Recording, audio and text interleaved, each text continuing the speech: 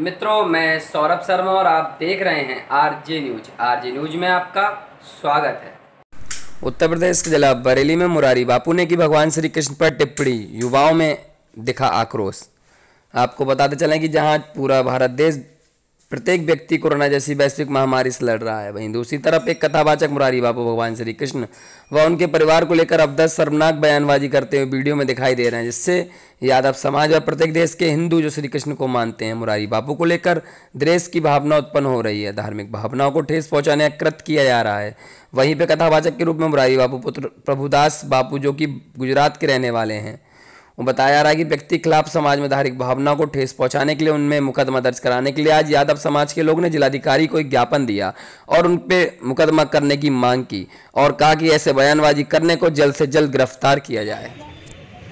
आज हम लोग जिला अधिकारी महोदय के पास जो मुरारी बापू हैं, जिन्होंने कृष्ण भगवान के लिए गलत भाषा का और अशोभनीय जो टिप्पणी करी थी, उसके विषय में आज मिले थे आके।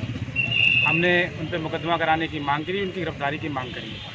मैं समस्त अपने देशवासियों, अपने सभी हिंदू नागरिकों से मुरारी बापू के बहिष्कार की मांग करता हूँ। वो एक ऐसा व्यक्ति है जिसने, जो स्वयं को अपने आप को कृष्ण मुरारी बापू बोलता है कृष्ण भगवान के नाम से आज तक उसने कमाया, खाया और आज वही कृष्ण भगवान के लिए गलत गलत बोल रहा है। ऐसे कथावाचक, ऐसे बाबा लोगों का हमें बहिष्कार करना चाहिए, जो केवल केवल नाम पे, देवताओं के नाम पे, धर्म के नाम पे पैसा बटोर रहे हैं और अशब्द बोल रहे हैं। इन्हें ये नहीं सोच मिल रहा है, ना ही इन्हें कुछ ऐसा है कि मतलब हमने जिनके नाम पे आज तक कमाया, खाया, आज हम उन्हीं के बारे में गलत बोल रहे हैं। हम सभी हिंदू भाइयों से अपने ये अपील करते हैं कि मुरारी बापू का बहिष्कार करें। हम लोग प्रशासन से मांग करते हैं, सरकार से मांग करते हैं कि मुरारी बापू को जल्द गिरफ़्तार कराया जाए। उनके जो भी यूट्यूब चैनल जो भी वीडियोज़ चल रही उनके सब निरस्त कराया जाए, लाइसेंस निरस्त कराया जाए, उनकी कथाएँ जो हैं, सब उन्हें बंद कराया जाए।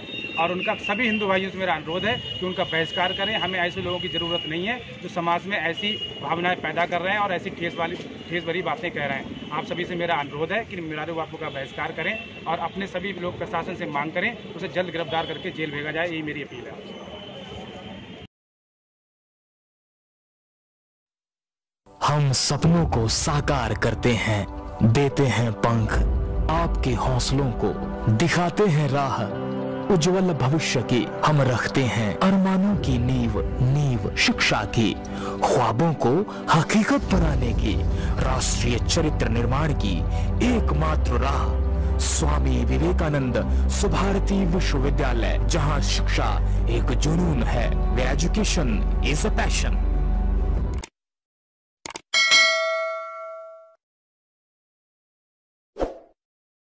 आपको हमारा चैनल पसंद आया लाइक करें।